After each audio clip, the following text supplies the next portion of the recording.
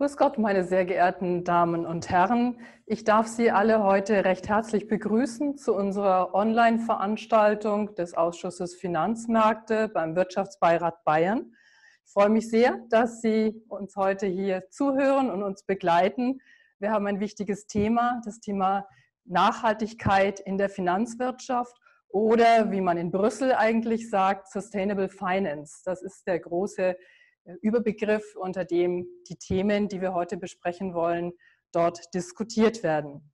Ganz besonders herzlich möchte ich unsere beiden Mitwirkenden begrüßen, Herrn Professor Dr. Franz Christoph Zeitler und Herrn Alexander Radwan, Mitglied des Bundestages. Unser Programm sieht vor, dass unsere Mitwirkenden zunächst jeweils ein Statement abgeben und dann wir zu diesen Themen diskutieren werden. Ich werde dabei gerne auch die Fragen einbinden, die uns im Vorfeld dieser Sendung schon erreicht haben. Zunächst darf ich die Mitwirkenden kurz vorstellen. Es ist bei Herrn Professor Zeitler eigentlich fast nicht nötig, denn Sie kennen ihn bestens aus, äh, als langjährigen Vorsitzenden des Ausschusses Finanzmärkte beim Wirtschaftsbeirat Bayern und als Vizepräsidenten der Deutschen Bundesbank AD. Herr Professor Zeitler war zuvor im Bayerischen Finanzministerium tätig und auch als Staatssekretär im Bundesfinanzministerium. Herr Alexander Radwan ist Diplomingenieur und Rechtsanwalt. Er kam über die Junge Union in die Politik und war von 1999 an für fast zehn Jahre im Europäischen Parlament und war dort zuständig für die Koordination der EVP-ED-Fraktionen im Ausschuss für Finanzmärkte und äh, für, im Ausschuss für Wirtschaft und Währung. Von 2008 an war er dann fünf Jahre im Bayerischen Landtag als direkt gewähltes Mitglied und seit 2013 hat es ihn nach Berlin verschlagen er ist jetzt dort Mitglied des Deutschen Bundestages und Mitglied im Ausschuss für Finanz, im, im Finanzausschuss und im Auswärtigen Ausschuss. Meine Damen und Herren, die Europäische Kommission hat mit dem Green Deal Klimaschutz und Nachhaltigkeit zu einem Schwerpunkt ihrer Arbeit gemacht. Ihr Ziel ist es, Europa bis 2050 CO2-neutral zu machen und die Nachhaltigkeitsziele zu erreichen. Dabei soll Europa als erster Kontinent sozusagen diese Klimaneutralität erreichen. Dabei wird der mittelständischen Wirtschaft eine ganz erhebliche Rolle zukommen. Und mittelständische Wirtschaft, das sind 99 Prozent in Deutschland unserer Umsatzsteuer pflichtigen Unternehmen. Nach der Definition der Europäischen Kommission sind das alle Unternehmen mit bis zu 250 Mitarbeitern und einem Umsatz von bis zu 50 Millionen Euro. In Deutschland sind die überwiegende, ist die überwiegende Anzahl dieser Unternehmen familiengeführt. Diese Unternehmen, meine sehr geehrten Damen und Herren, sind es im Wesentlichen, die die Transformation der Wirtschaft zu mehr Nachhaltigkeit und mehr, und mehr CO2-Neutralität gestalten sollen. Die Finanzindustrie, das heißt die Banken und die Versicherungen, sollen diesen Prozess begleiten und vorantreiben. Über die Grundsätze, das Anliegen von mehr Nachhaltigkeit gibt es im Allgemeinen wenig Diskussion und es besteht große Zustimmung. Allerdings kommt es auf die Details der Umsetzung an, wie dieses Ziel erreicht werden soll, staatenübergreifend in Europa und in Deutschland. Hierzu werden Sie uns nun, lieber Herr Professor Zeitler, einige Details und einige Einblicke geben, über die wir dann später noch sprechen werden. Vielen Dank, liebe Frau Wolf, für die einführenden Worte. Auch von meiner Seite ein herzliches Grüß Gott an die Freunde des Wirtschaftsbeirats, die digital zugeschaltet sind und vor allem ein Wort des Grußes an Alexander Radwan in Berlin. Wir haben heute das Thema Nachhaltigkeit, ein zentrales Thema für die Wirtschaft und Finanzpolitik, auch ein zentrales Thema für den Finanzsektor. Es ist vielleicht gut, sich eingangs zu erinnern, dass dieser Begriff Nachhaltigkeit ja oft etwas inflationär gebraucht wird. Und richtig daran ist, dass man sich, eigentlich heißt Nachhaltigkeit, man denkt verantwortungsvoll an die Auswirkungen, an die Folgen seines Handelns, man denkt an die Zukunft und die nächste Generation. Und deshalb ist Finanz, ist Nachhaltigkeit ja ein Konzept, das übergreifend ist, das auch die Finanzpolitik etwa betrifft. Wir sollten unseren nächsten Generationen keine übergroße Schuldenlast hinterlassen. Stichwort Stabilitätspakt. Nachhaltigkeit ist auch eine Politik der Gesundheitsvorsorge. Wenn wir laufend mit Pandemien rechnen müssen, kommt eine nachhaltige Entwicklung in Wirtschaft und Gesellschaft nicht in Gang. Und nachhaltig ist auch, Nachhaltigkeit ist auch ein Thema der Sicherheitspolitik. Wenn wir auf die zunehmende Verletzlichkeit der Wirtschaft und der Gesellschaft durch die Digitalisierung schauen, Stichwort, zweimal ist erfolgreich das Internet des Bundestags von auswärtigen Diensten gehackt worden, dann sehen wir, welche Herausforderungen Nachhaltigkeit für uns übergreifend bedeutet.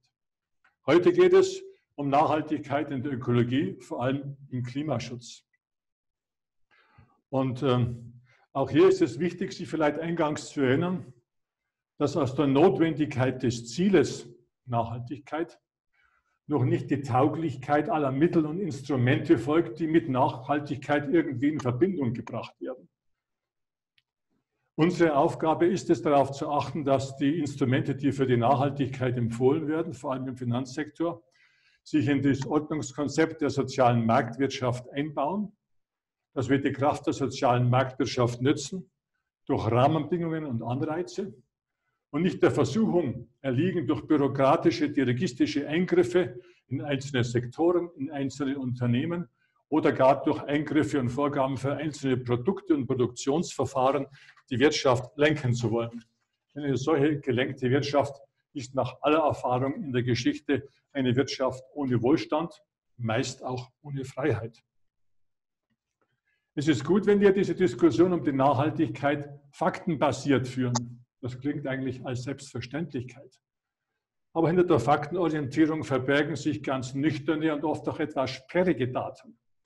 Zum Beispiel, wie der Sachverständigenrat und internationale Institutionen herausgearbeitet haben, trägt Deutschland, Stand 2017, nur noch mit 2% zu den internationalen CO2-Emissionen bei. 1990 waren es noch 7%. USA und China stehen für 42 Prozent.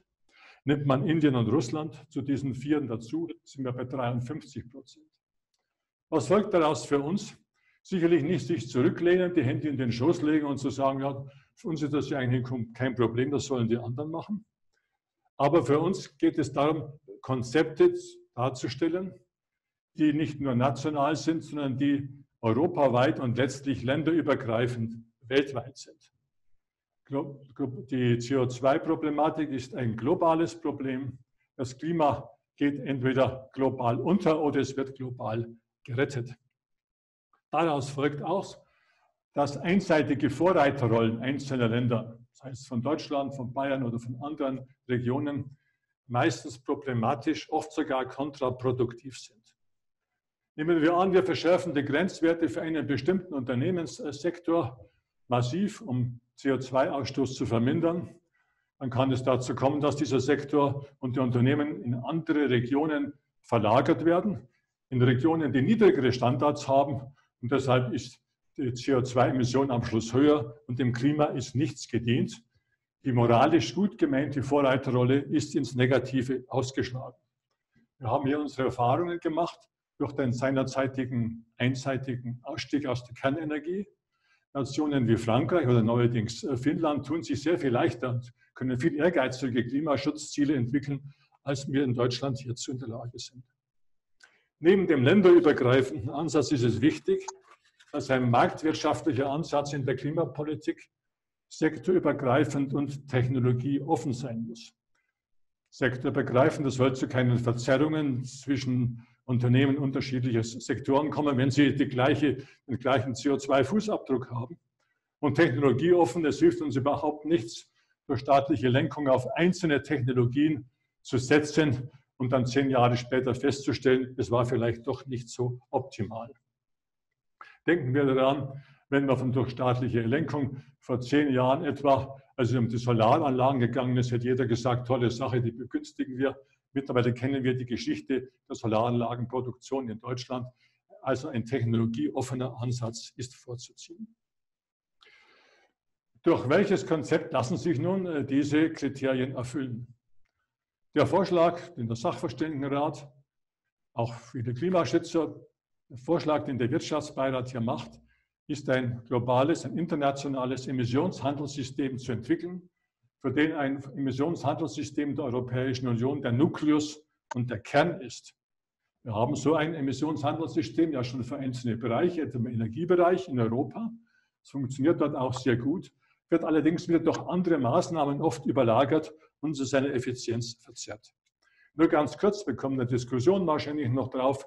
Emissionshandelssystem heißt, dass das Ziel des Klimaschutzes, die Minderung von CO2, letztlich die Klimaneutralität bis 2050 effizient erreicht wird, weil die Menge des auszustoßenden CO2 festgelegt und über die Zeitachse hinweg reduziert wird.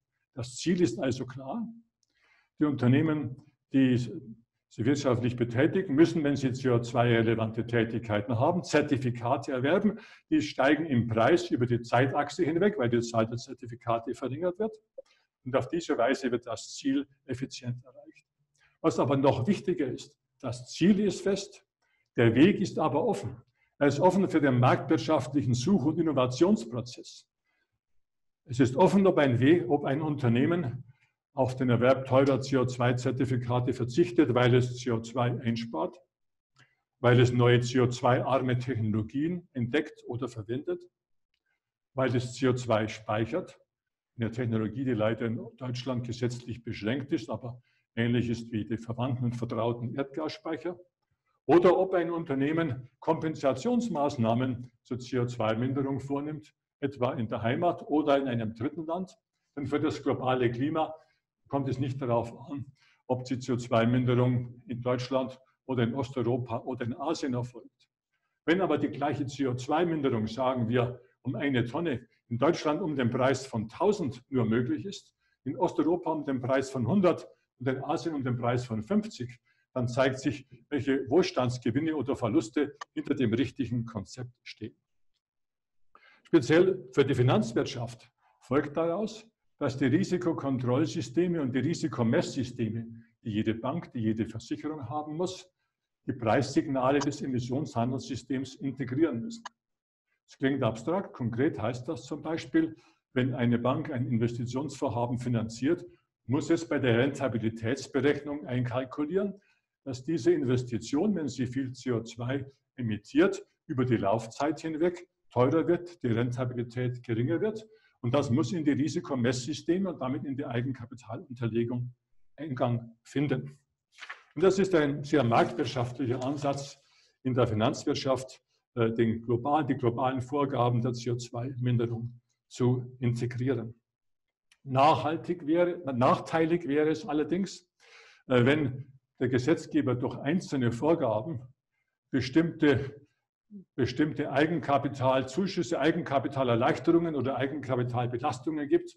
In Brüssel heißt das, Sie haben schon die englischen Begriffe erwähnt, a Green Supporting Factor oder Brown Penalizing Factor, also ein grüner Entlastungsfaktor und ein brauner Belastungsfaktor, mit dem bestimmte Technologien, bestimmte Produkte besonders ausgezeichnet werden. Damit wird ja die Risikomessung der Institute verzerrt. Und die Risikomessung hat ja vor allem das Ziel, der Finanzstabilität. Wir wollen ja nicht in eine Bank- oder Versicherungskrise hineinschlittern. Deshalb rechtzeitiges Erkennen der Risiken, aber nicht staatliche Verzerrung der Risiken. Nun gibt es noch ähm, ein Thema, das wir sicherlich auch in der Diskussion vertiefen werden. Im Augenblick ist es ja so, dass die Finanzmärkte sehr viele Anleger, institutionelle Anleger und private Anleger darauf bedacht sind, ihre Mittel nachhaltig anzulegen und deshalb auf Anleihen, auf Fonds achten, die sich als nachhaltig darstellen.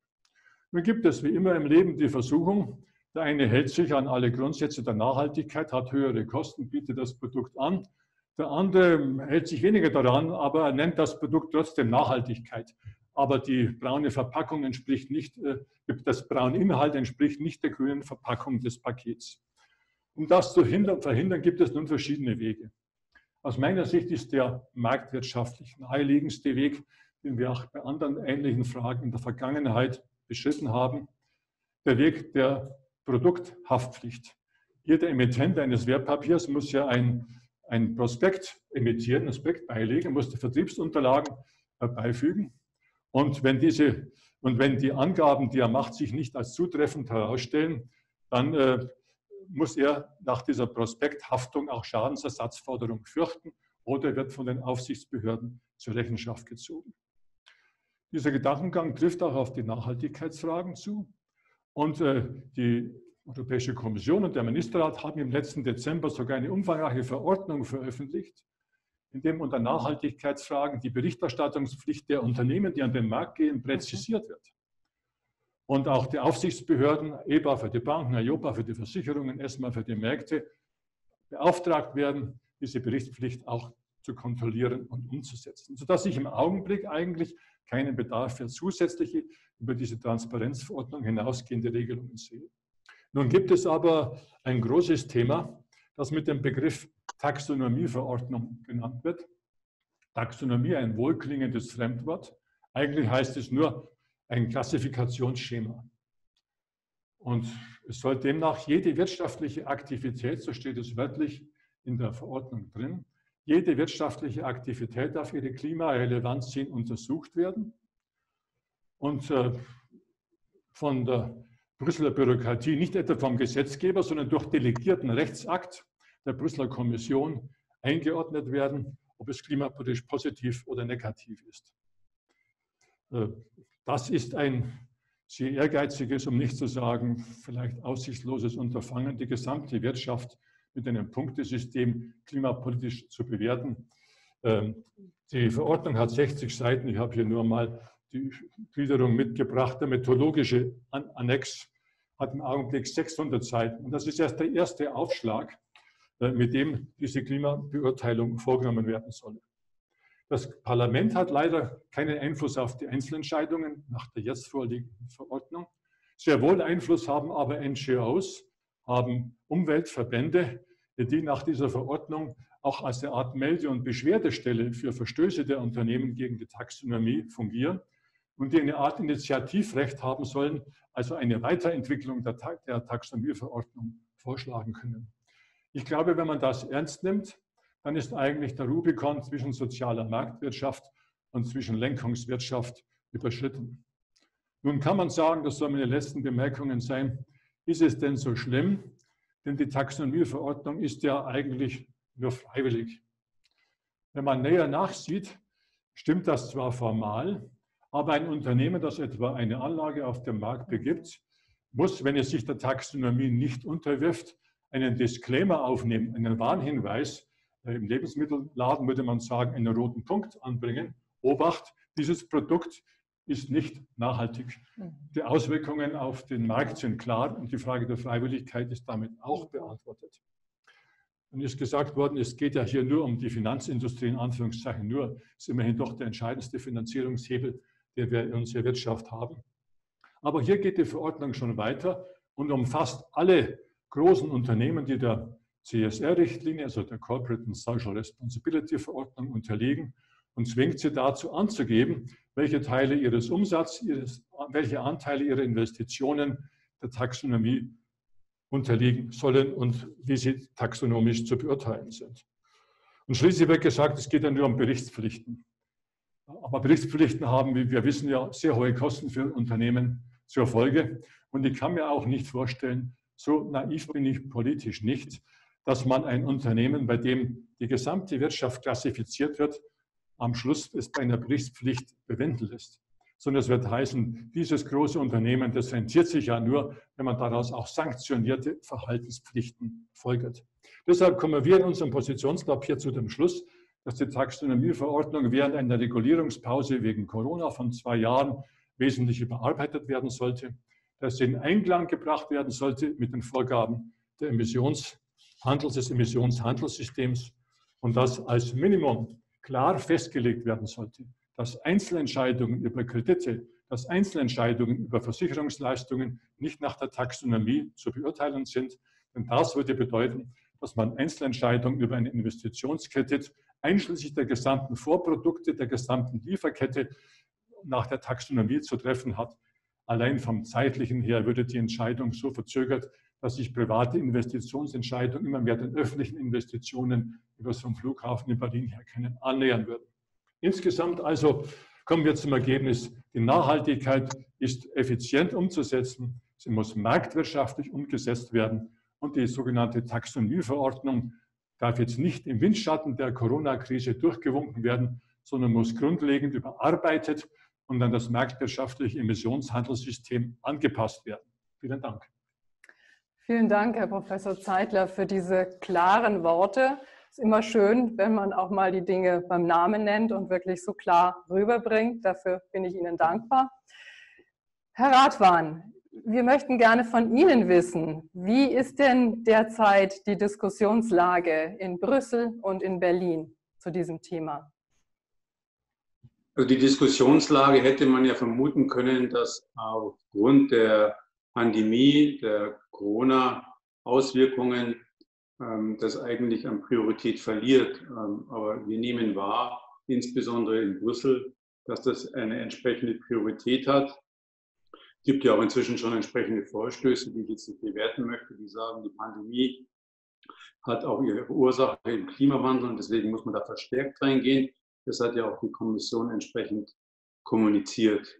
Ich möchte eigentlich nur einen Punkt ähm, zu Professor Zeitler ergänzen. Ähm, und das sage ich als jemand, der ja im gesetzgeberischen Bereich tätig ist. Ähm, Professor Zeitler hat das Thema der Atomenergie angesprochen. Äh, der Ausstieg der Atomenergie, brauchen wir gar nicht jetzt diskutieren, richtig oder falsch, aber er war letztendlich ein demokratisch-parlamentarischer Prozess mit der Regierung. Ähm, wenn wir jetzt uns das anschauen, was gerade passiert, ist, dass dieses Nachhaltigkeitsthema letztendlich abgearbeitet wird in der Regulierung der Finanzmärkte und dort dann auch in weiten Teilen parlamentarischer Befugnisse entzogen wird. Und über das Thema der Nachhaltigkeit hinaus möchte ich immer, betone ich immer wieder, dass es hier um die ESG-Ziele geht. Das sind 17 Stück. Also wir machen gerade die Struktur für Kapitalmarktregulierung für die zukünftigen 17 ESG-Ziele. Environmental Social Governance. Ähm, in Klammer mit einem gewissen Schmunzeln, äh, Professor Zeitler hat es ja angedeutet, in diesen Level 2 und Level 3 Ebenen treffen sich also Kapitalmarktregulierer plus NGOs. Die Realwirtschaft findet sich bisher zum Beispiel dort nicht wieder die dort entsprechend dann definieren, was ist sozial, was ist umweltverträglich, nachhaltig was ist Governance. Ähm, ich denke, alle Vorstände von DAX-Unternehmen, die große Freude der Unterstützung zurzeit haben, dass dieses Nachhaltigkeitsthema kommt, werden sicherlich auch damit zunehmender Begeisterung diese ganzen Vorgaben, die dann im Governance-Bereich kommen, umsetzen. Ähm, wenn ich gerade nur auf Wirecard schaue und wer hier mit wem in welcher Form zusammengearbeitet hat, es wird spannend werden, inwieweit dann Unternehmen, die gerade überhaupt Probleme haben, das geltende Recht eingehalten, bis zum Strafrecht dann dieses entsprechend umsetzen können. Ich denke, auch diejenigen, die jetzt hier ein Stück weit Märkte sehen und Rendite sehen, äh, wäre mein Appell, sollte man das Ende bedenken, wo letztendlich Regulierung landet. Ähm, das Problem, das wir hier haben, ist, dass weite Teile der Gesellschaftspolitik sich dann in einer Diskussion in diesen Gremien wiederfindet und damit auch ich befürchte es, die Aufgabe der Kapitalmarktregulierung konterkarieren könnte. Letztendlich muss Kapitalmarktregulierung sich daran orientieren, ist ein Investment risikoarm oder risikoreich.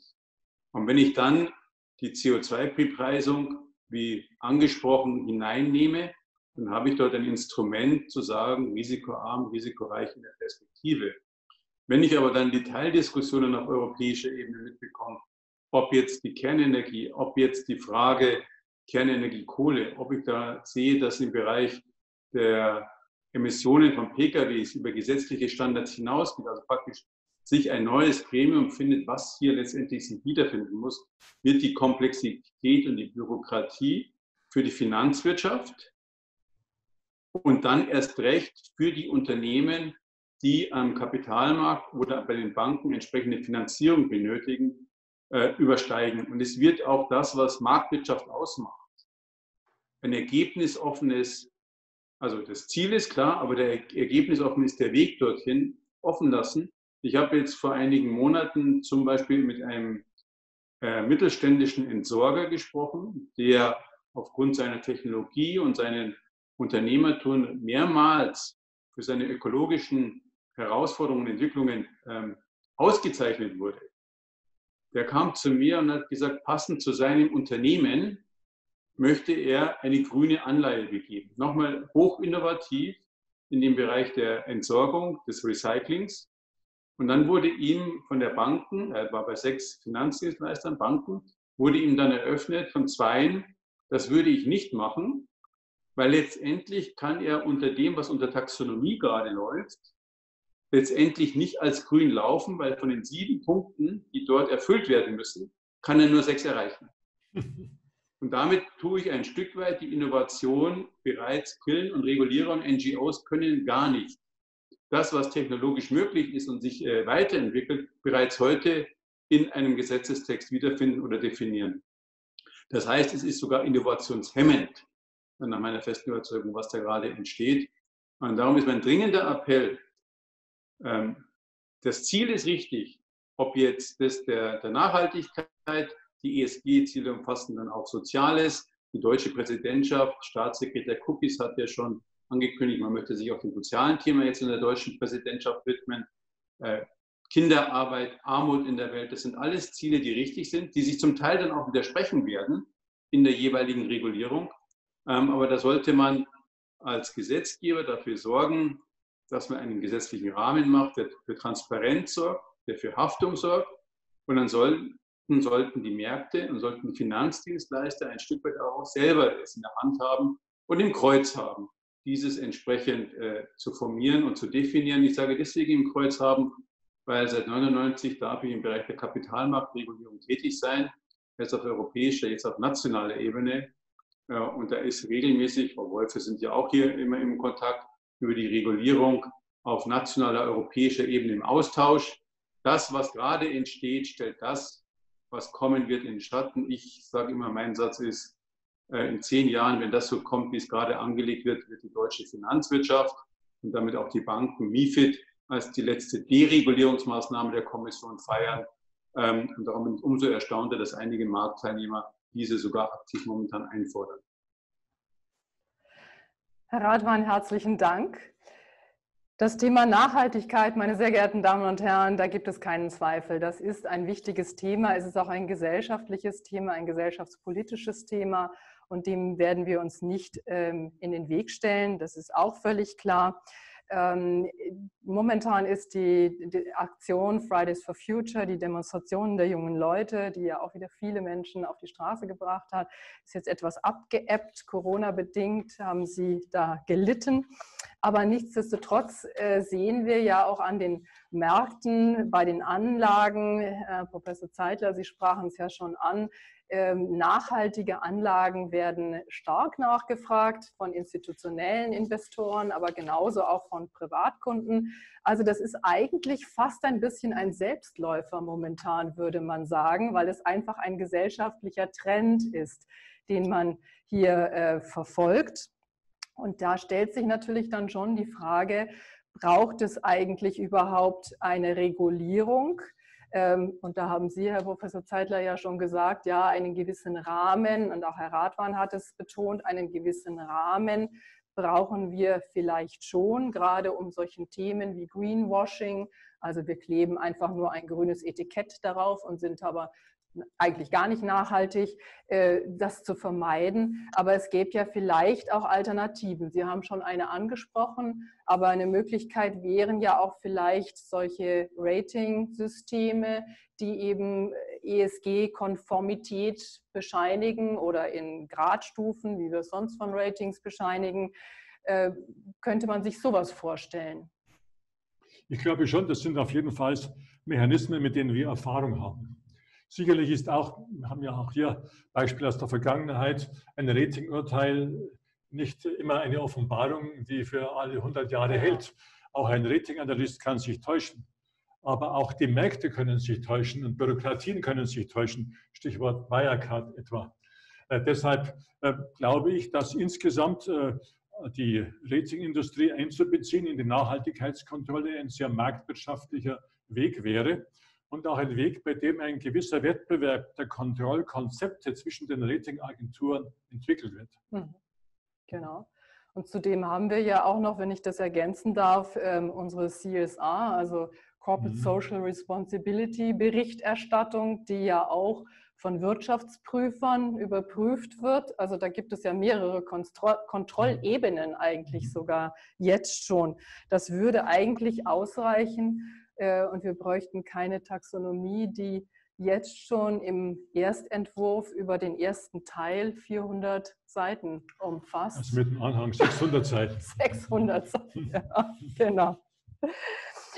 Ähm, aber ich möchte jetzt noch mal nachfragen, ähm, Herr Radwan, die NGOs, Sie haben es gerade angesprochen, sind sehr stark ähm, involviert auch wenn Sie vielleicht für unsere Zuhörer noch mal so freundlich sein könnten und äh, vielleicht das Thema ESG noch mal genau ein bisschen definieren könnten. Und dann würde mich natürlich schon interessieren, wie arbeiten jetzt die NGOs hier zusammen ähm, mit den, ja, ich sag mal, mit der Kommission und ähm, ja, welche Rolle spielt in dem ganzen Thema die Realwirtschaft, diejenigen, die es eigentlich umsetzen müssen?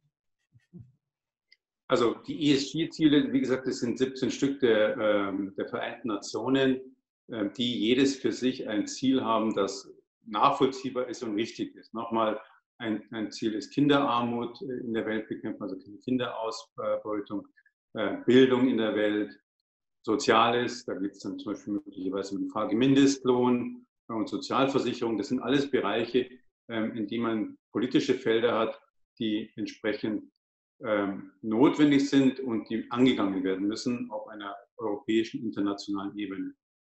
Ähm, ich bin der festen Überzeugung, diese Themen gehören in ihre grundsätzlichen Diskussionen, Entscheidungen dorthin, wo gesellschaftspolitische Entscheidungen zu treffen sind, in die Parlamente. Ja, und wenn der Deutsche Bundestag in seiner Vielfalt äh, mit den Fraktionen und das Europäische Parlament noch mit noch mehr äh, Parteien und Fraktionen dann zu einem Schluss kommt, dann ist äh, durch ein politisch, demokratisch äh, legitimiertes Organ eine Entscheidung getroffen worden. Auch wenn sie einem nicht immer gefällt, aber es ist getroffen worden mit einer gewissen Priorität, die nachvollziehbar ist. Diese ganzen Themenvielfalten, die wir gerade hier sehen, werden zukünftig nachrangig, nicht vom Thema her, äh, aber von der Ebene her, in den sogenannten Level 2 und Level 3 Ebenen diskutiert. Und dort treffen sich wieder Finanzmarktregulierer, also BaFin, Bundesbank, Europäische Zentralbank, die ISAs, die ja bisher schon, ja, also Franz Christoph möge es mir nachsehen als früherer Vizepräsident der Bundesbank, aber wenn ich reguliere unter sich erstmal lasse und dann warte, was rauskommt, ist das meistens kein Bürokratieabbau, um es vorsichtig zu formulieren. Ähm, ist ja auch die Aufgabe von Ihnen. So, und jetzt äh, kommt eine zweite Gruppe hinzu, NGOs, die eben dann bestimmte Prioritäten haben die ihre Legitimation aus den Themen sehen, ob jetzt Soziales, ob jetzt Umwelt, dann nehmen wir Greenpeace, nehmen wir WWF, das ist alles berechtigt und nachvollziehbar. Und die versuchen jetzt, wie in einem Konklave, sich entsprechend darauf zu einigen, was ist nachhaltig und wie bringe ich das in die Kapitalmarktregulierung hinein. Das heißt, die Kapitalmarktregulierung wird eine extreme Politisierung stattfinden. Und ich frage mich schon am Schluss, ob dann im Fokus steht, die Stabilität der Finanzmärkte oder das Erreichen des Zieles. Und darum ist mein dringender Appell, dass wir eben dieses rausnehmen und uns nach wie vor daran orientieren, was ist risikoarm und risikoreich und die anderen Themen dort diskutieren, wo sie entsprechend hingehören. Parlamente können dann das, was dort entsteht, also die 600 Seiten, äh, auch wenn sie jetzt äh, monströs erscheinen, die sind ja erst ein kleiner Anfang wenn diese ganzen Themen, dann gibt es äh, nach ein paar Jahren einen Review, dann wird es wieder angepasst, dann gibt es wieder neue Ziele. Also es wird ja auch mit den entsprechenden Initiativen, die ja dann aus diesen Gremien kommen, der Aufseher, aber auch der NGOs, es wird ja eine never-ending Story werden in diesem Bereich. Und erstaunlicherweise ist es ja dann so, dass die, die das entsprechend umsetzen müssen, also die Unternehmen, der Mittelständler vor Ort, die oft tolle kreative Ideen haben, wie sie die Ziele erreichen können, überhaupt nicht beteiligt. Darum ist jetzt auf der einen Seite sicherlich der Appell, die Realwirtschaft und die, die entsprechendes anzuwenden haben, zu beteiligen. Aber noch wichtiger ist, dass wir eigentlich uns vom Grundsatz her nicht über das Ziel, das ist unbestritten, oder die Ziele der ESG, sondern wirklich uns die Frage stellen, ob das der richtige Weg ist. Und lassen Sie mich noch eins zum Rating sagen. Das, was jetzt gerade stattfindet, für den einen oder anderen äh, überraschend, äh, für mich nicht, ist ja, dass es eine Parallelität der Regulierung gibt. Also das BaFin hat bereits ein Merkblatt rausgegeben zum Thema nachhaltige Finanzierung. Da haben wir die nationale Ebene, auch wenn es erst einmal ein Merkblatt ist, fühlen sich die Finanzdienstleister, die Banken nachvollziehbar daran gebunden. Dann habe ich auf europäischer Ebene die Taxonomie-Maschinerie, die sich so richtig warm läuft. Und dann habe ich auf internationaler Ebene die Vorgaben von internationalen Bodies und von den Ratingagenturen. Und das nehmen jetzt die einen oder anderen Finanzteilnehmer wahr, dass da aus verschiedensten Ecken das gleiche Ziel verfolgt wird. Und zur Überraschung aller haben die aber nicht sich miteinander abgesprochen und koordiniert. Das heißt, jeder versucht, sein Paket entsprechend an den Mann zu bringen und dann auch entsprechend umzusetzen. Und das führt genau dazu, dass die Komplexität und die Anforderungen an den Unternehmen hoch, groß wird, unüberschaubar wird, kaum mehr zu erfüllen sein wird. Äh, und die äh, Kommission hat ja bereits angekündigt, das, was sie in der Taxonomie für den Kapitalmarkt möchte, möchte sie ja zukünftig auch für die Banken haben. Herr Professor Zeidler, Herr Radwan sprach es gerade an, ähm, ein effizientes CO2-Handelssystem wäre eigentlich eine gute Alternative und Sie hatten es in Ihrem Eingangsstatement auch schon kurz beschrieben. Könnten Sie vielleicht noch ein bisschen näher dazu ausführen? Gerade jetzt nach den Ausführungen von Herrn Radmann zur Komplexität der Regulierung, die sich in Europa abzeichnet. Also jede einzelne wirtschaftliche Aktivität irgendwie unter der Klimarelevanz zu beurteilen, glaube ich, der große Vorteil des Emissionshandelssystems ist, es ist transparent, es weiß jeder, worum es geht.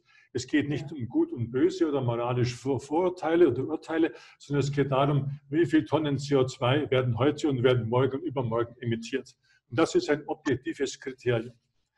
Die Menge der für den Globus noch verträglichen CO2 Bestände sind im Grundsatz ja durch das Kyoto-Protokoll festgelegt worden. Man kann darüber streiten, ob es richtig ist, aber gehen wir einmal davon aus. Und diese Mengen kann man auf Europa runterbrechen und in ein europäisches Emissionshandelssystem als Ziel einbauen. Und dann wird die Menge der CO2 aufgeteilt in einzelne Zertifikate. Die Zertifikate werden am Markt gehandelt, wie man schon bei den bisherigen Ansätzen eines Handelssystems haben, etwa in Deutschland an der Energiebörse in Leipzig. Mhm. Und es bildet sich dort ein Preis für das CO2-Zertifikat. Der war jetzt eine Zeit lang recht niedrig, was viel bestritten und kritisiert worden ist. Aber es ist auf der anderen Seite ein großer Vorteil, denn ein niedriger Preis heißt ja auch, dass sehr viel eingespart worden ist an CO2 und sich deshalb die Preise genau. am Markt eben schon gesunken haben. Mhm. Und wenn ich mich eigentlich zielkonform verhalte, möchte ich einmal den Lohn der Angst auch sehen. Das ist das, der große Vorteil des CO2-Handelssystems.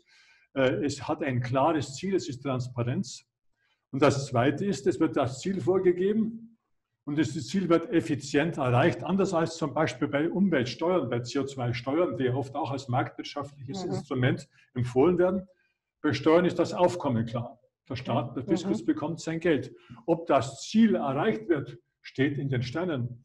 Wir haben in Deutschland seit der sogenannten ökologischen Steuerreform unter dem Kanzler Schröder im Jahr 1999 Umweltsteuern, CO2-basierte Steuern im Volumen von etwa 60 Milliarden Euro. Der spezifische Umwelteffekt war sicherlich deutlich geringer als der mhm. für den Haushalt.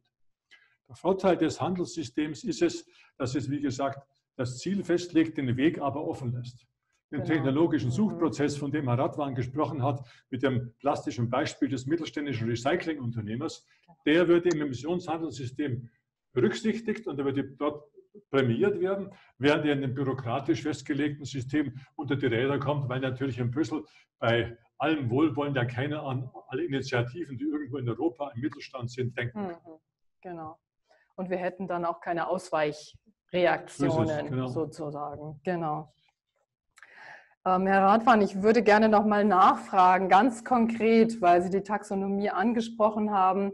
Was heißt das denn jetzt für ein mittelständisches Unternehmen?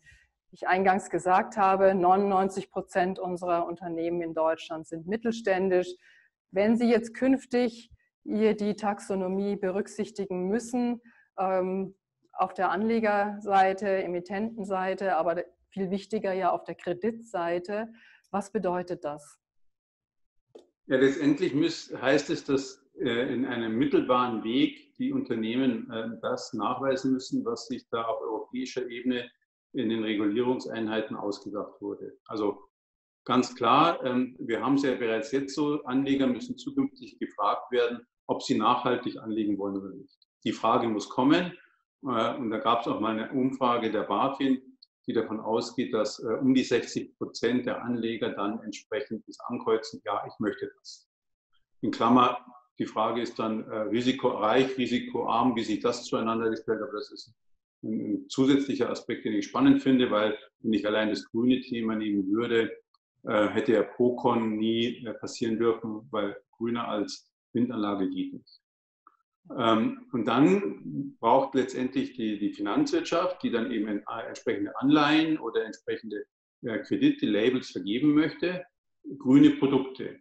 Die grünen Definition ergibt sich dann aus der Taxonomie nach dem Motto, ich habe dann mein, mein Formsheet und äh, tue dann entsprechend der Definition nachgehen, was muss derjenige, der dann die entsprechende Anleihe bekommt oder begibt oder derjenige, der der Kreditnehmer ist und dann entsprechend äh, sich als grünes Label haben möchte, was muss der erfüllen? Und so wird letztendlich durch die Bank, durch die Finanzwirtschaft diese Regularien an den jeweiligen Mittelständler weitergeleitet, der dieses dann erfüllen muss. Und dann haben wir genau das Problem, dass bestimmte äh, Innovationen, äh, bestimmte Thematiken der Innovation erst gar nicht bekannt sind. Wir haben das gleiche ja bei CSA erlebt und erleben es ja regelmäßig. Was ist soziales Unternehmertum? Und dann auch möglicherweise der, der Mittelständler, der Bäcker vor Ort das anders handhaben. Und ist die Frage, wird der erfüllt? Aber möglicherweise ist das jemand, der zu einem großen Zulieferer, der wieder zu einem DAX-Konzernszulieferer ist. Und schon bin ich in der Kette drin äh, um dieses Nachvollziehen dokumentieren zu müssen. Also es bedeutet erheblichen Aufwand für die Unternehmen, in diese Klassifizierung überhaupt reinzukommen. Genau, das Stichwort Aufwand, Dokumentation, Herr Radwan, da möchte ich nochmal nachfragen. Wie müssen denn dann Unternehmen, mittelständische Unternehmen dokumentieren, dass sie nachhaltig sind? Da gibt es ja jetzt auch schon eine Verordnung oder einen Verordnungsentwurf dazu. Ähm, aber da wissen Sie sicher mehr. Ja, Sie werden über die Verordnungen, ich, Sie werden aus meiner Sicht oft gezwungen sein, externe Dienstleister mit reinzuholen, die Ihnen dann das entsprechend auch abnehmen äh, oder gegen gutes Geld dann eben dokumentieren müssen. Äh, und letztendlich ist das die, die Aufgabe dann der Unternehmen, diesen Nachweis zu führen und eben darauf acht, zu achten, dass sie genau in diese, diese Schiene kommen. Okay, also zusätzliche Berichtspflichten, zusätzliche Aufgaben für Mittelständler und das alles, Entschuldigung, wenn ich es etwas ketzerisch sage, jetzt im Hochfahren nach der Corona-Krise, wo äh, Unternehmen schon, glaube ich, was anderes zu tun haben und einen anderen Fokus haben sollten. Oder und zusätzlich, und wenn ich es eben ergänzen darf, äh, zu meiner großen Überraschung, ähm, eben, ähm, also in der bisherigen Tätigkeit war dieses, äh, diese Felder der Bürokratie und der jeweiligen Diskussionen darüber immer einigermaßen zugeordnet. Ähm, dieses, die Frage der Bürokratie wird eben jetzt auch von Teilen äh, mancher Teile der Finanzwirtschaft massiv eingefordert, was ich nicht nachvollziehen kann.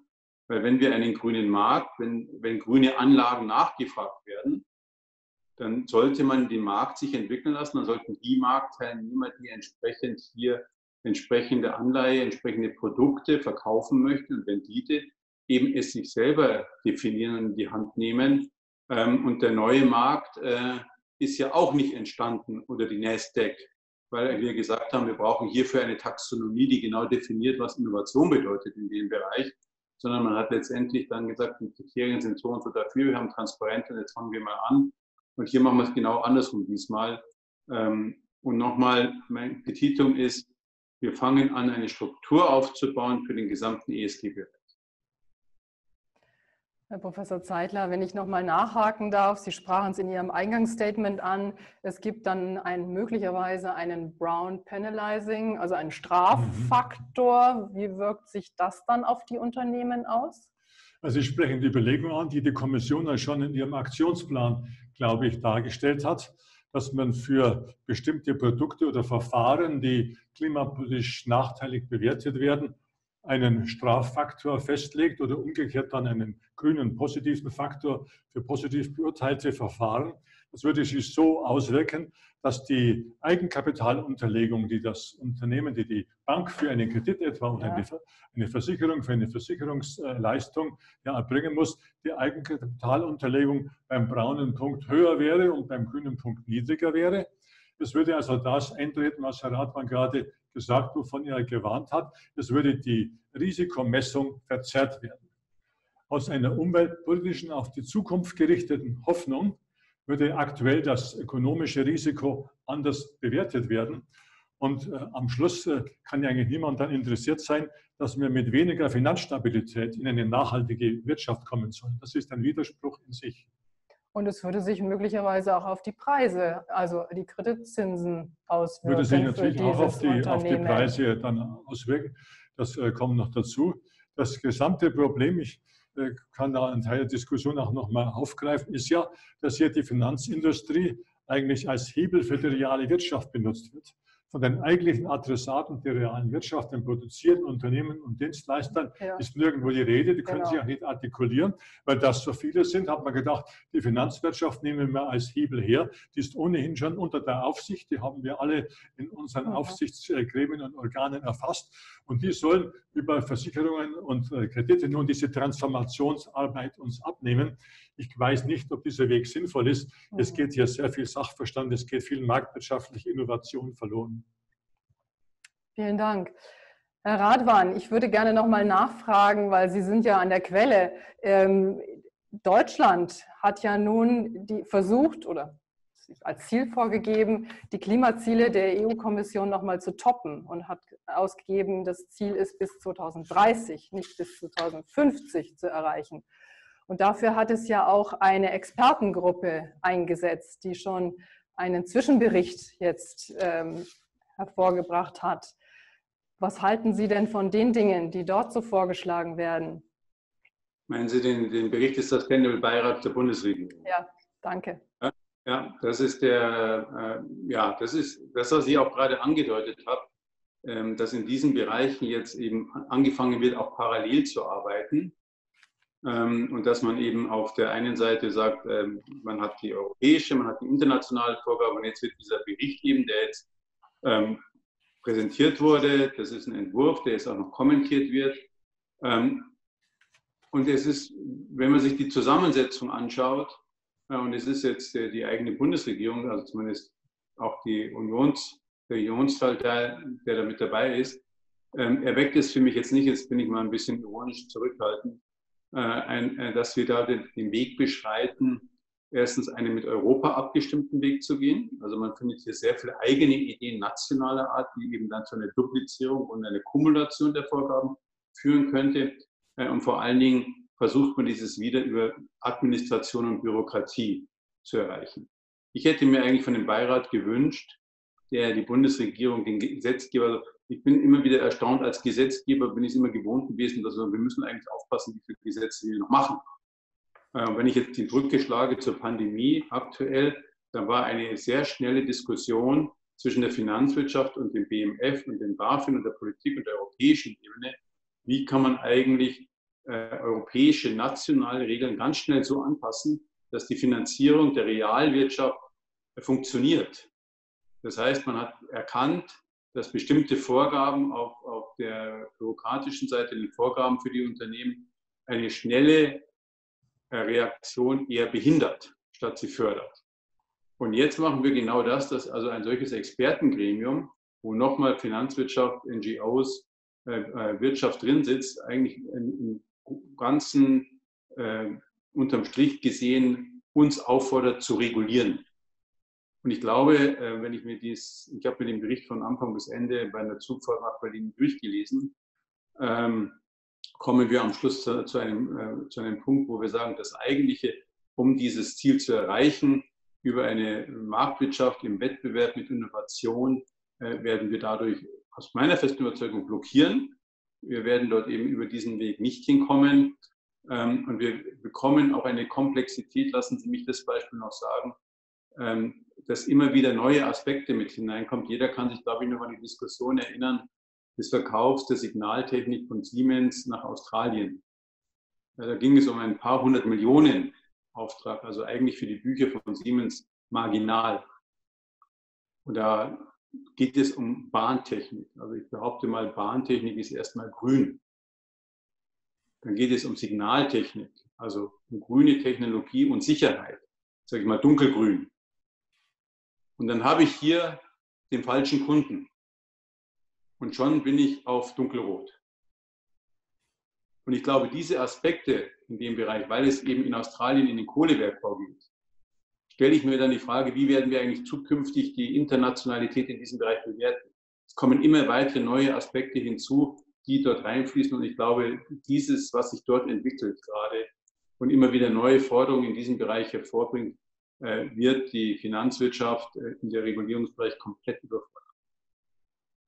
Mhm. Darf ich vielleicht noch einen Gerne. Punkt ergänzen, Frau Wolfe? Sie hatten ja von dem Ziel Klimaneutralität und dem Zeitpunkt 2050 gesprochen.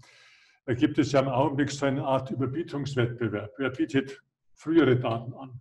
Das wird relativ locker gesagt. Was mich aber bewundert, ist, dass die Vielzahl der Beiräte und Beratungsgremien, von denen ja auch die Rede war, die es gibt, sich mit den Kosten eines Vorziehens dieses Ziels von 2050 auf etwa 2045 oder 40 nicht beschäftigen. Ich kenne international, wir haben es im Positionspapier dargestellt, nur eine einzige Kostenschätzung. Wie viel Prozentsatz am Bruttoinlandsprodukt verzicht auf den technologischen Status quo füge ich mhm. hinzu. Nicht auf der Basis von Weiterentwicklungen, zu denen wir anreizen wollen mit Emissionshandelssystem, wie viel Kosten die Klimaneutralität hätte. Und das war das Beispiel für Neuseeland. Ja. Und die kommen zu dem Ergebnis, dass die Kosten bei 16 Prozent Wachstumsverlust oder Wachstumsrückgang für das Bruttoinlandsprodukt wäre. Zum Vergleich, wir haben jetzt die schärfste Rezession der Nachkriegszeit in diesem Jahr wegen der Corona-Pandemie. Das wird ein Wachstumseinbruch von 7 Prozent etwa bedeuten nach dem letzten Urteil des Sachverständigenrats. Und in Neuseeland spricht von einem Übergang, Status Quo-Bedingungen, auf Klimaneutralität von bis zu 16 Prozent Rückgang des BIP. Da kann man sich über die Zahlen im Einzelnen sicher streiten. Aber mir wundert schon, dass die Kostenfrage, dass die Auswirkungen auf Wachstum und Wohlstand von den zahlreichen Beiräten und Beratungsgremien nicht bedacht werden. Das ist ein wichtiger, ganz wichtiger Aspekt. Mhm. Vielen Dank. Ähm, ich hätte gerne noch mal das Thema EZB angesprochen. Frau Lagarde, Herr Professor Zeitler hat ja, ich sage mal, nicht eine Absicht geäußert, aber zumindest in die Diskussion eingeworfen, dass auch Klimaneutralität äh, ein Thema für die EZB sein könnte. Als ehemaliger Vizepräsident der Deutschen Bundesbank ähm, haben Sie da sicherlich eine klare Meinung dazu. Ich habe früher und sage auch jetzt das Gleiche. Das Prinzip Schuster bleibt bei dem Leisten äh, gilt für den kleinen Mann und gilt auch für die EZB. Und die EZB und die Bundesbank haben die Aufgabe, die Geldwertstabilität zu sichern. Und sie haben die Aufgabe, auch ihren Beitrag zu leisten, die Finanzmärkte zu stabilisieren. Sie haben aber nicht die Aufgabe, Umweltpolitik zu betreiben oder Gesundheitspolitik zu betreiben oder Datenschutzpolitik motorisch zu mhm. betreiben, sondern sie müssen, was äh, Umwelt- und Klimaschutz angeht, sich genauso verhalten wie alle anderen Bürokratien auch, natürlich in ihren Verwaltungen und Organisationen schauen, möglichst klimaeffizient vorzugehen, bei der Bauweise, bei der Frage, ob alle internationalen Tagungen notwendig sind, ob man nicht die eine oder andere Flugreise sich sparen könnte. Aber jetzt zu sagen, dass über die Geldpolitik selber, jetzt über das Ankaufsprogramm der EZB, eine Art äh, Klimaschutz Politik über den Markt, über Beeinflussung des Marktes betrieben mhm. werden sollte. Das macht die EZB und das würde, ich spreche im Konjunktiv, die EZB zu einer politischen Organisation machen. Mhm. die Gefahr auch, dass Eingriffe in die Unabhängigkeit dann kommen. Denn wenn man sich politisch auf das Feld begibt, wird man ja auch politisch kritisiert ja. und die Unabhängigkeit in Frage gestellt. Diese Folgen sollte man bedenken, bevor man sich auf dieses Glatteis begibt. Dankeschön. Herr Radwan, es gibt Stimmen, die sagen, man sollte den Stabilitäts- und Wachstumspakt für Investitionen in Nachhaltigkeit, in Klimaschutz lockern.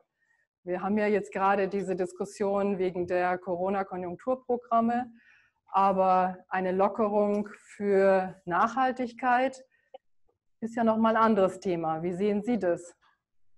Also sehen Sie es mir nach. Ich habe den Stabilitäts- und Wachstumspakt jetzt zehn Jahre in meiner Brüsseler Zeit verfolgt und jetzt danach natürlich als nationaler äh, Abgeordneter. Ich kann mir gar nicht vorstellen, wie man den noch weiter lockern kann, als er schon ist. Ähm, aber das ist eine Randbemerkung. Wäre, das wäre jetzt eine meiner Kernforderungen mit Blick dann nach der Pandemie, dass wir darauf drängen müssen von deutscher Seite, ähm, dass der Stabilitäts- und Wachstumspakt endlich ähm, greift und äh, Franz-Christoph Zeitler hat ja mit Blick auf die EZB-Bundesbank gesagt, entpolitisiert wird. Äh, sollten wir also jetzt den Weg gehen, wie manche sich das wünschen, dass Investitionen in Nachhaltigkeit oder in die ESG-Ziele nicht mehr haushaltsrelevant wären und damit nicht mit dem Defizit angerechnet würden, wären wir baff erstaunt, wie viel wir bereits in den Mitgliedstaaten der Europäischen Union für die Nachhaltigkeit tun. Ähm, und dann würde eigentlich die, die Schuldenthematik und das Ziel der Stabilität komplett konterkariert. Ob jetzt der Stabilitäts- und Wachstumspakt, ob jetzt EZB, Bundesbank, ob die EIB und die KfW oder die Kapitalmarktregulierung. Alle sehen momentan ein hehres Ziel der Nachhaltigkeit, der ökologischen, nicht der finanziellen, ja. Können ja beim Stabilitäts- und Wachstumspakt als erstes mal meinen Sie die finanzielle oder die ökologische Nachhaltigkeit. Also viele sehen momentan die ökologische Nachhaltigkeit als das primäre Ziel. Und ich stelle mir nur vor, äh, mit Blick auf damals die, die, die Euro-Einführung, man hätte gesagt, die Europäische Zentralbank und die Bundesbank müssen zukünftig neben der Geldwertstabilität Wirtschaftswachstum, Arbeitsmarktentwicklung entsprechend in die, in die jeweilige Entscheidung mit hineinnehmen. Natürlich findet eine Abwägung statt, wie uns ja auch das Verfassungsgericht jetzt gezeigt hat. Aber das primäre Ziel bleibt die Inflationsorientierung. Und wenn wir jetzt da diesen Weg gehen, in all diesen Feldern, zu sagen, aber Nachhaltigkeit muss beachtet werden, dann ist das nächste Ziel noch einmal die Wertschöpfungskette global, dass die entsprechende Kriterien festgelegt werden. Wir haben eine schleichende Politisierung all dieser Bereiche mit gesellschaftspolitischen Maßnahmen raus aus den Parlamenten hin in einen Bereich, und die Europäische Zentralbank, die Bundesbank werden hier politisch nicht kontrolliert, gehen dann ihre eigenen Wege. Und das ist genau das Gegenteil von dem, von den Strukturen, die wir bisher eigentlich verfochten haben und verteidigt haben. Ich will vielleicht zum Stabilitätspakt eine kurze Ergänzung bringen. Er ist ja im Augenblick nicht äh, aufgelockert, sondern er ist ausgesetzt wegen der Corona-Krise. Aber ich meine schon, äh, nach Überwindung der Krise, spätestens ab 2022, muss er erstens wieder gelten. Mhm. Und er muss auch unter dem Eindruck der Krise verschärft werden, zumindest in einem Aspekt, dass die Mitgliedstaaten die Pflicht haben, in guten Jahren Mittel anzusparen, Fonds zu bilden, die sie dann in schlechten Jahren, wenn wieder eine solche Krise kommt, verwenden können. Deutschland hat sich ja in den letzten Jahren jedenfalls, nicht in allen vergangenen Jahren, im letzten Jahr an diesen Pakt gehalten und kann deshalb finanziell sehr gut durch die Corona-Krise kommen, wird mhm, international genau, bewundert. Ja. Alle die Stimmen, die in den letzten Jahren kritisiert haben, dass sich Deutschland an die schwarze Null hält, an den Stabilitätspakt hält, äh, die verbrennen im Augenblick ihre früheren Reden. Wenn man jetzt sieht, wie wichtig das war, dass wir einige Zeit auch finanziell positiv hausgehalten haben und den Stabilitätspakt erfüllt haben. Und dieses Erfolgsrezept sollte man auch auf andere Mitgliedstaaten ausdehnen. Da müsste man nicht im Nachhinein sehr hektisch und mit ökonomisch und rechtlich sehr schwierigen Konstruktionen neue europäische Fonds schaffen, sondern jedes Land hätte schon für sich auch eine Vorsorge getroffen. Also lassen Sie mich ja. ganz kurz ergänzen zu dem, was gesagt wurde. Das ist materiell völlig richtig. Und was ich gemeint habe, ist eben noch zusätzlich die Entpolitisierung. Mhm. Ja. ja. letztendlich entscheidet ja der Rat darüber, der ECOFIN. Mhm. Und da sage ich immer beispielhaft, das ist wie in einer Schulklasse, wenn die größten Lausbuben, die gerade was angestellt haben, über die entscheiden oder von, äh, ein Urteil erwarten von denen, die vorher gerade was angestellt haben. Ähm, also wir brauchen einen Automatismus raus aus dieser politischen Ecke. Für mich ist da beispielhaft positiv, auch wenn ich nicht jede Entscheidung äh, dort gut finde, ist das äh, europäische Kartellrecht. Die Kommission entscheidet hier auch gegen Staaten wie bei Siemens Alstom im Zugbereich. Die Entscheidung finde ich an sich nicht gut. Aber man sagt, wir entscheiden das äh, nach dem, wie wir das Recht sehen. Und das sollte auch in dem Bereich. Äh, Wolfgang Schäuble hat in seiner Zeit als Finanzminister mal eine, dass man es herauslagert aus der Kommission gefordert. Das ist eigentlich die große Krux des Stabilitäts- und Wachstumspakts, dass er immer mehr politisiert wurde. Und wissen Sie, das war der frühere Kommissionspräsident Juncker, der geantwortet hat, warum die Kommission kein Verfahren gegen Frankreich macht, war seine Antwort, because it's France. Genau. Ähm, das ist letztendlich eben nicht der Weg, wie man mit den Stabilitäts- und Wachstumspakt umgegangen ist. Darum hat er nie gegriffen. Und darum müssen wir, wie gesagt wurde, es materiell verschärfen. Aber es muss endlich gewährleistet werden, dass die, die jeweiligen Maßnahmen dann auch durchgesetzt werden. Sonst brauchen wir darüber gar nicht mehr diskutieren. Vielen Dank, Herr Radwan. Wir kommen zum Schluss. Ich danke Ihnen sehr, meine Herren, für diese klaren Statements, klare Botschaften und ähm, ja, kritischen Beiträge. Ich denke, meine sehr geehrten Damen und Herren, Sie haben gesehen, das Thema Nachhaltigkeit in der Finanzwirtschaft, Sustainable Finance, ist wichtig. Es ist wichtig. Es ist nicht ein Programm, was Banken und Versicherungen primär bindet, sondern es ist ein Programm, was sich primär an die Realwirtschaft wendet. Und das ist meines Erachtens noch viel zu wenig diskutiert und viel zu wenig im Markt angekommen. Der Wirtschaftsbeirat Bayern ist eine gute Plattform, um solche Themen zu diskutieren.